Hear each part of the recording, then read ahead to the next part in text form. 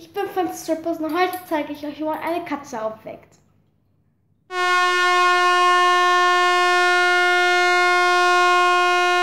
Drei Stunden später.